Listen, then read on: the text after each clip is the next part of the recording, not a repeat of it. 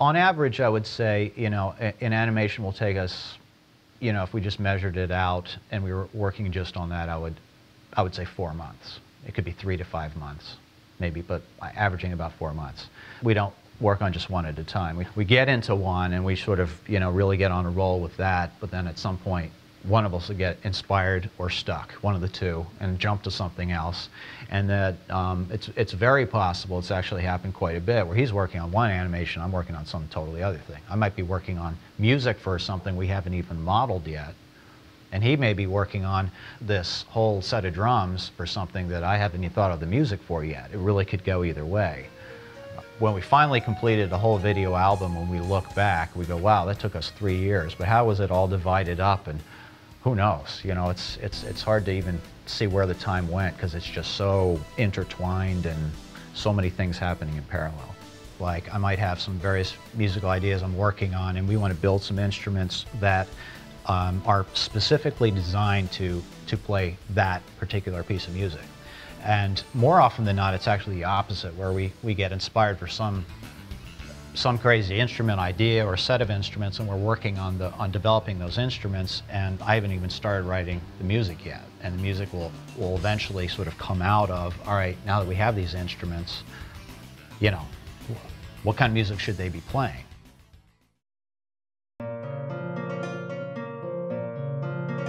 Resonant chambers.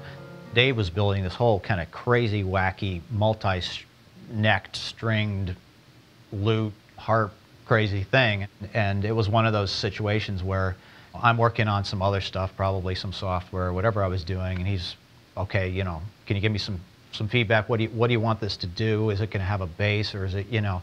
And I, I kept saying, I don't know, just, but it looks cool, keep going. Just, just make more. Make it cooler and stranger and more wacky.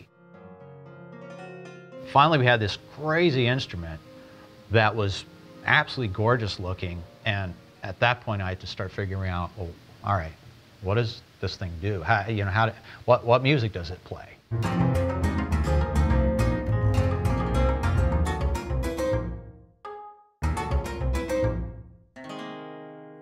But it, we've also done it exactly the opposite. For example, Future Retro, the music was, was completely done, I think, two years before we ever started trying to visualize it.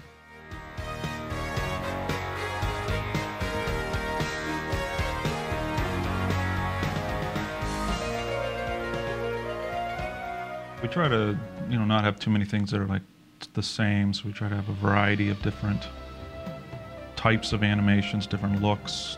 Some are sci-fi, some are more of an old-fashioned look.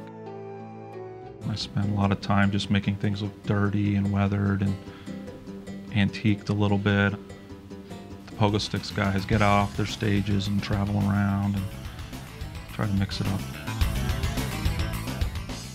Of course, the other thing is, is having not just, not just the variety of, of the visuals, but the variety uh, in the music.